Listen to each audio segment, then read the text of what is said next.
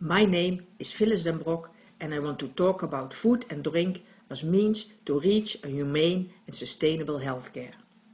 At this moment, patients in healthcare are becoming much more dependent and much more vulnerable than necessary.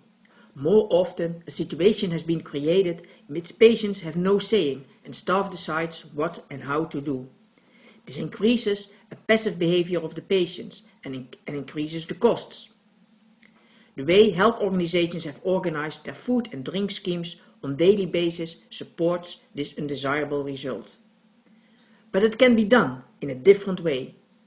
How can the way food and drink processes are executed reactivate people and give them back their responsibility? To reach this goal, one has to look in a different way at the processes of food and drink. Instead as a goal, one has to see food and drink as means, means to an end. I will give you some concrete examples. One example could be that disabled people or elderly people are invited to contribute to this process of food and drink with focusing on their abilities. This can mean that the patient chooses the menu, walks along with you when you do the shopping, helps with washing the potatoes, assists you with getting the fork to his mouth, or just smells the fresh cut peppers and baking meat.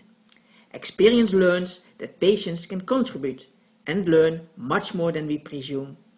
And when you contribute to a meal, it tastes better, you eat better, etc. and less care is needed. Another example can be that your organization make local connections concerning deliveries of food and food services.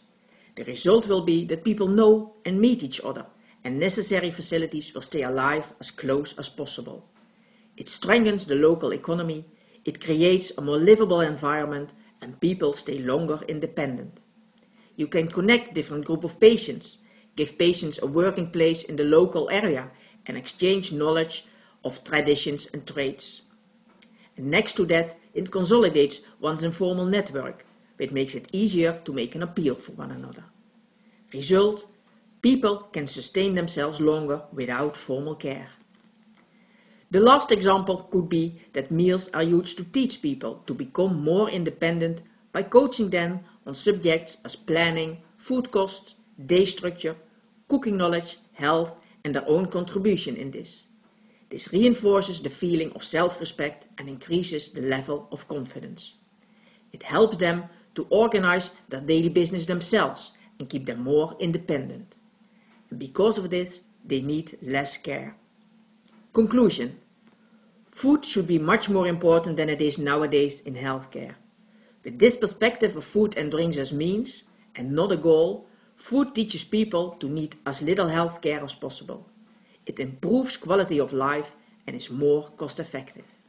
Thank you for your attention.